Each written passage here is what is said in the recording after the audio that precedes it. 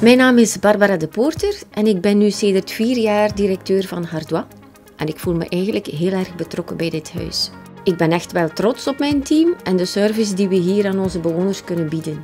Hardois opende haar deuren zes jaar geleden en is eigenlijk een vrij bijzondere zorgresidentie. Onze residentie is namelijk een gemengde residentie, waarbij het woonzorgcentrum en de assistentiewoningen geïntegreerd zijn binnen hetzelfde gebouw. We hebben daardoor een, eigenlijk een uniek zorgproject, waarin bewoners hun woongelegenheid op maat kunnen kiezen en daarbij kunnen genieten van alle faciliteiten van onze residentie. We kunnen dus een individuele aangepaste omkadering bieden, al naar gelang wat de bewoner nodig heeft of ook graag wil. Het woonzorgcentrum is misschien het meest gekend, maar daarnaast hebben we dus onze assistentiewoningen, onze flatjes, waar bewoners gewoon zelfstandig kunnen wonen en tegelijk op ons beroep doen als ze ons nodig hebben. De mensen hier hebben misschien minder intensieve zorg nodig, maar ze hebben wel de zekerheid en de gerustheid dat er 24 uur op 24 verpleegkundigen en zorgkundigen in huis zijn. En dat is echt wel een bijzondere meerwaarde.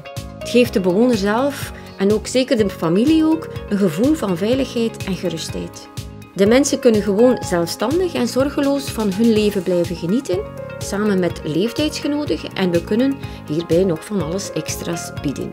We hebben ook gemeubelde flats voor een tijdelijk verblijf, wanneer bijvoorbeeld de mantelzorger of de zorgende familie met vakantie is, of bijvoorbeeld ook voor een revalidatie na een ziekenhuisopname of een medische ingreep. Het is echt de bedoeling dat het leven voor onze residenten niet al te fel verandert na hun verhuis.